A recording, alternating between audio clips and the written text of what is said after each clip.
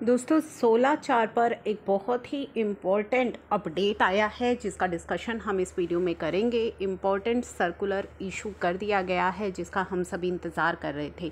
अभी GST council की meeting हुई थी, जिसमें ये चीज़ें बताई गई थी कि जल्दी ही क्लैरिफिकेशंस सर्कुलर के द्वारा इशू की जाएँगी। कुछ मेन जो वहाँ पे पॉइंट्स थे, उनमें सोलह चार भी इंक्लूड था। तो वही क्लैरिफिकेशंस इशू कर दी गई हैं। इस वीडियो में हम ये इम्पोर्टेंट क्लैरिफिकेशन डिस्कस करने वाले हैं। तो सोलह चार को लेकर के क्या क्लैरिफिकेशन आई है, वो हम जानते हैं।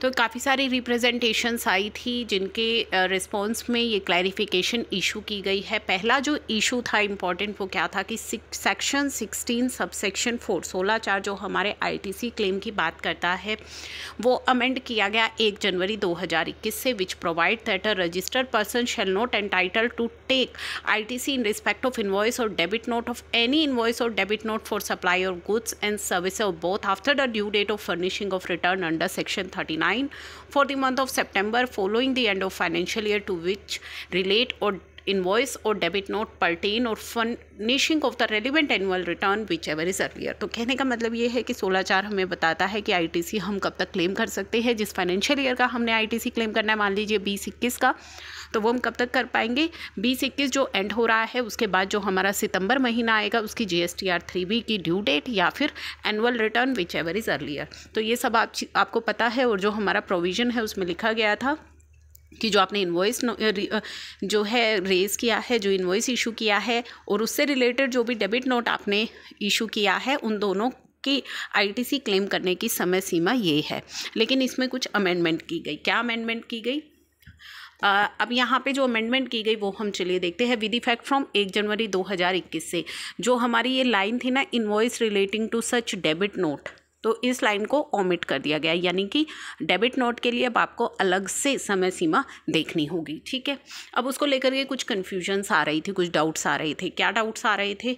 अब यहाँ पे डाउट्स आ रहे थे which of the dates are relevant to determine the financial year for the purpose of sixteen four date of issuance of debit note and date of issuance of underlying invoice तो इनकी डेट्स को लेकर confusion आ रही थी। Second whether any availment of I T C on or after एक जनवरी दो हज़ार इक्कीस in respect of debit note issued prior to or after first January 2021 will be govern by the provision of amended section 16.4 अगर आपने कोई debit note एक जनवरी 2021 से पहले इशू कर दिया है तो क्या ये एक जनवरी 2021 के बाद जो आप अमेंडमेंट लेकर के आए हैं, ये उस पर भी एप्लीकेबल होगी या नहीं होगी?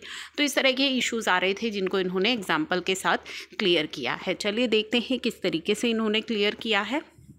एक जनवरी 2021 से in case of debit note के केस में the date of issuance of debit note shall determine the financial year year for the purpose of sixteen four तो यानी कि एक जनवरी 2021 से इन्होंने अमेंडमेंट की कि जब आपने डेबिट नोट को इशू किया है, जिस तारीख को, वो डिसाइड करेगी कि कौन से फाइनेंशियल ईयर में तक आप उसका, जो रेलिवेंट फाइनेंशियल ईयर उसका क्या होगा आईटीसी क्लेम करने के लिए, सोलह चार के अकॉर्डिंग ठीक है?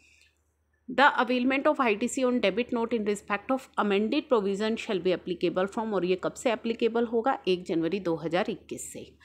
Accordingly for availment of I T C अगर आप एक जनवरी दो हज़ार इक्कीस के बाद आई टी सी क्लेम करते हैं in respect of debit note जो लाइक वो डेबिट नोट जो आपने इशू किया था एक जनवरी 2021 से पहले, क्योंकि अमेंडमेंट तो एक जनवरी 2021 के बाद लागू हुई है, अगर आपने उससे पहले डेबिट नोट इशू किया है the eligibility for availment of I T C will be govern by amended provision of section sixteen four where any I T C avail prior to first January twenty one in respect of debit note shall be governed under the provision of section 16 subsection 4 as it is existed before the said amendment.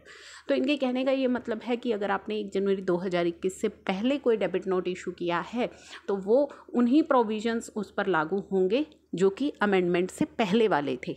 चलिए इनको example के through हम समझते हैं।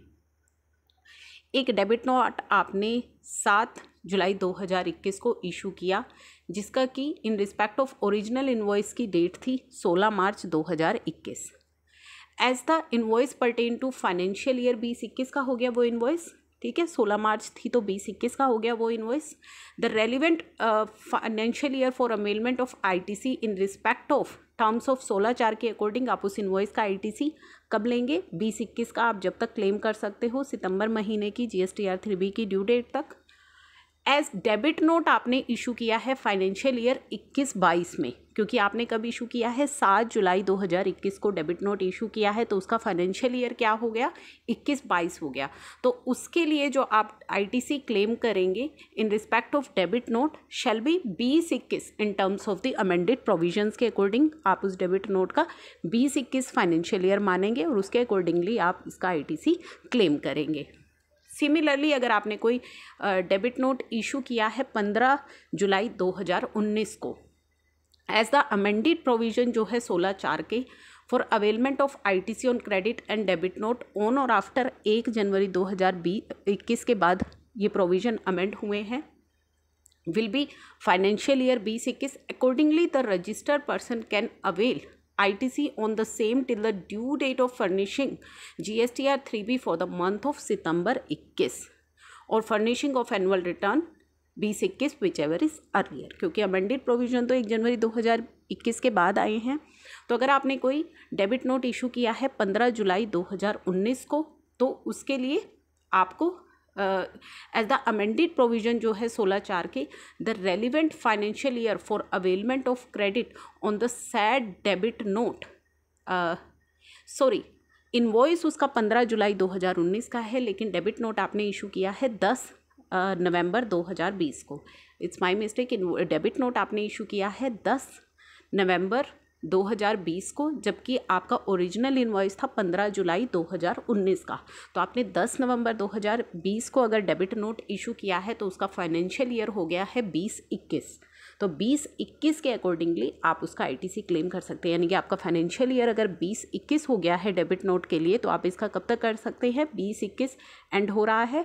21 उसके बाद जो सितंबर महीना आएगा, यानी कि सितंबर 2021 उसकी G S T R three B की ड्यू डेट तक आप उसका आईटीसी क्लेम कर सकते हैं। तो ये क्लैरिफिकेशन इशू की गई है इन सर्कुलर्स के द्वारा कि इन्वॉइस के लिए अब आपको फाइनेंशियल ईयर अलग से देखना है और डेबिट नोट के लिए आपको अलग से देखना है। इसके अलावा दो इंपॉर्टेंट क्लैरिफिकेशंस और इशू की गई हैं, जिनका डिस्कशन हम अपनी नेक्स्ट वीडियो में करेंगे।